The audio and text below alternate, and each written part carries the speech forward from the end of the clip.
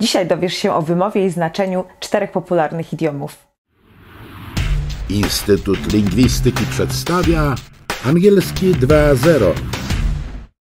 Cześć, tu Magda Ali z Instytutu Lingwistyki i dzisiaj seria English 2.0, w której będę Ci pomagać zapamiętywać niektóre rzeczy. Jeżeli chcesz dostawać regularną dawkę materiału, to subskrybuj i nie zapomnij kliknąć w dzwoneczek, żeby nic się nie ominęło. Idiomy to związki frazologiczne, a związki frazologiczne mają to do siebie, że każdy język ma swój zbiór dziwolągów, które naprawdę ciężko jest przetłumaczyć na inny język. Jeżeli stroisz sobie żarty, albo robisz sobie jaja, albo nabijasz wbijasz kogoś w butelkę, użyjesz idiomu to pull someone's leg. W dosłownym znaczeniu ciągnąć kogoś za nogę. Jeżeli nie jesteś pewna, czy ktoś sobie robi z siebie jaja, możesz się spytać: Are you pulling my leg or are you serious? Żartujesz sobie, czy mówisz serio? A jeżeli ktoś cię cały czas robi w konia i już cię to wkurza i masz dość, możesz powiedzieć: Stop pulling my leg. Marysia pulled Stefan's leg i powiedziała mu, że wygrał na loterii. No a potem musiała z nim spłacać kredyty. Drugi idiom tyczy się tej irytującej sytuacji, kiedy spokojnie sobie nad czymś pracujesz, doskonale wiesz, co masz robić, bo już robiłeś to milion razy wcześniej i nagle przychodzi jakaś mądrala i ci zaczyna mówić, jak masz to zrobić. No i właśnie, don't teach your grandmother to suck eggs.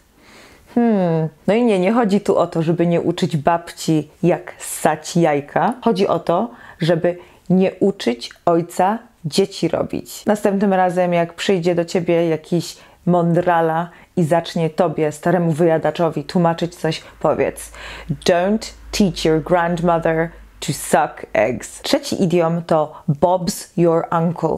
I nie, nie chodzi o to, że Bob jest twoim wujkiem, chodzi o to, że sukces w czymś jest gwarantowany, czy jest prosty i łatwy do uzyskania. Wstać pizzę do mikrofali i Bob's your uncle. Włoska, romantyczna kolacja dla dwóch. Historia tego idiomu jest dość ciekawa, dlatego że gdzieś w XVIII wieku premier Anglii podarował swojemu bratankowi stanowisko sekretarza stanu. No i każdy wiedział, że to było ustawione, no i dlatego Bob's your uncle, czyli Bob Bob jest twoim wujkiem, oznacza, że masz już to załatwione. Idiom numer cztery to two birds with one stone. Hmm, dwa ptaki jednym kamieniem. Wyobraź sobie teraz, jak rzucasz jednym kamieniem i trafiasz w jakieś dwa biedne ptaki. Jest to odpowiednik polskiego, troszeczkę mniej brutalnego idiomu dwie pieczenie na jednym ogniu.